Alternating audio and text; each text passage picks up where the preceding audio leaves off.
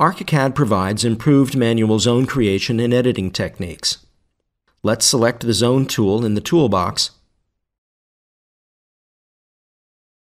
and select the manual rectangular construction method from the info box. Let's create a new zone on the floor plan with the help of the Smart Cursor. Let's select this new zone and activate the Move, Drag a Copy command from the context menu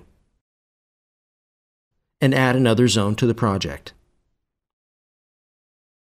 Make sure that the newly created zone is selected and click its edge to display the pet palette.